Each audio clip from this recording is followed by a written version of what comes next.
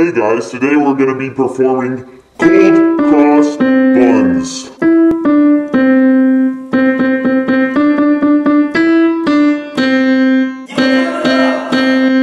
Cold cross buns, cold cross buns,